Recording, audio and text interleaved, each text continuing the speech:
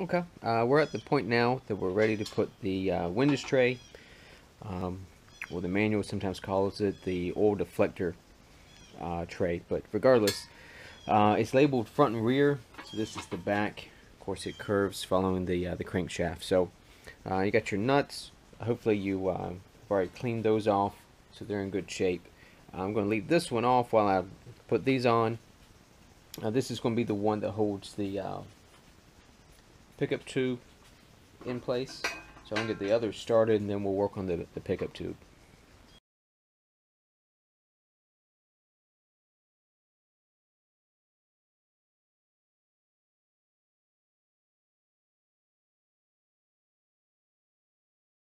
Alright, and then of course these get torqued at 18 foot-pounds.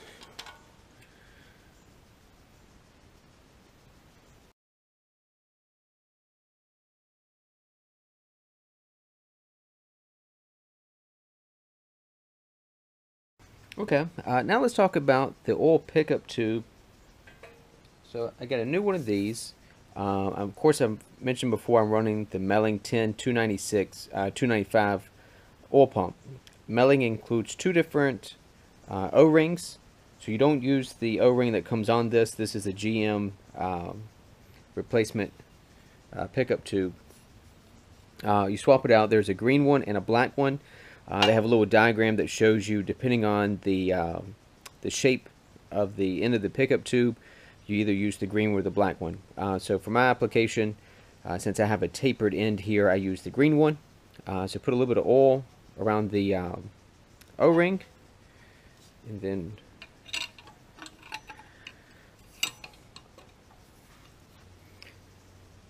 there we go.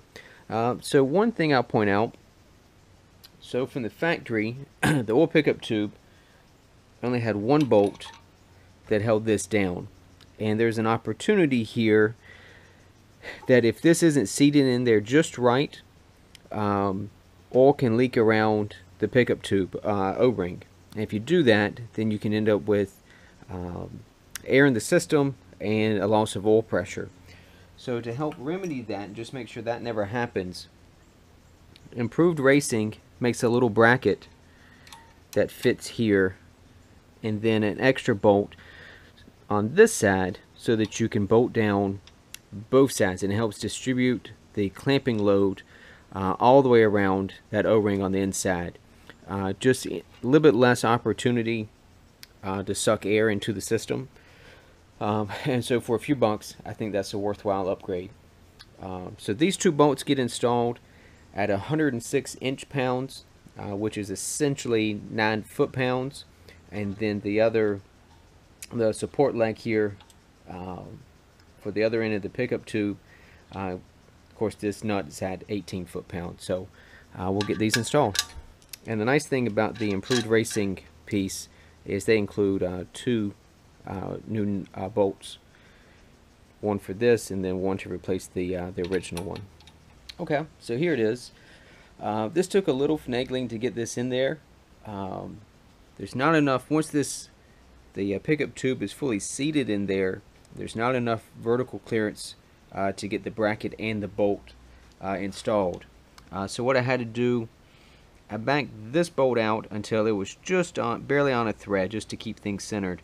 Um, and then I pulled up on the pickup tube and you just have to work the nut, uh, the uh, the bolt, and the little bracket together in there, and then with your fingers get it started and work it down. And as you work it down, you can slowly uh, seat the pickup tube, and then you can tighten this one a little bit, and then you'll just work them both down in there.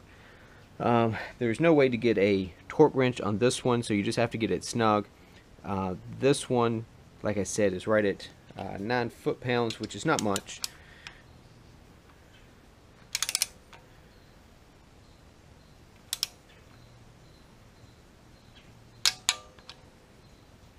We go. And this one.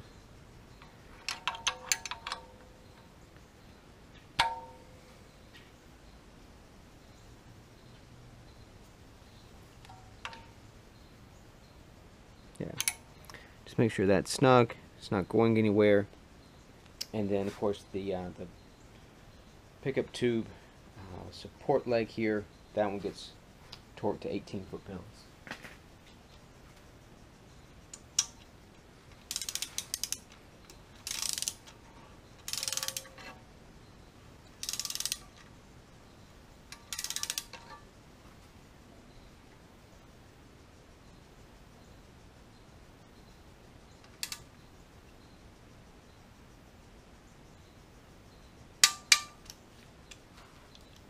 There we go. So that's how you install the uh, oil pickup tube and the uh, improved racing oil pickup tube uh, bracket to help uh, spread the load across that uh, O-ring in there. So I hope that helps.